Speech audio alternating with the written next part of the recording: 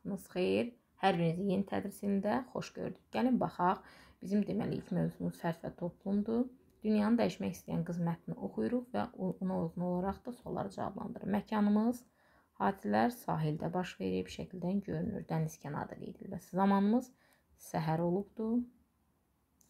Obrazlarımız Aygün və atası.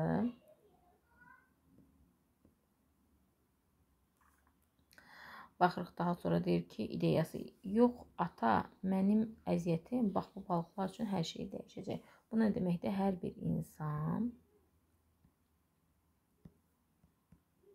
insan cəmiyyət üçün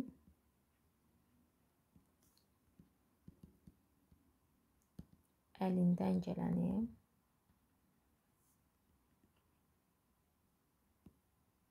etməlidir.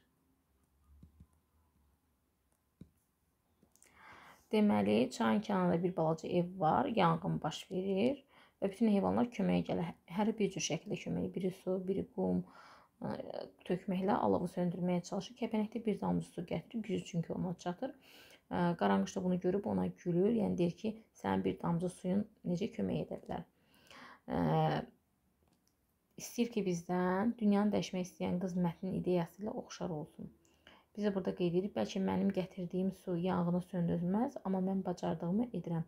Sən də bacardığını etsən, bu yanğın tezliklə sönər. Yəni ona uyğun olaraq bitirə bilərsiniz. Əziz dostlar, bu günlük bu qədər. Hələlik.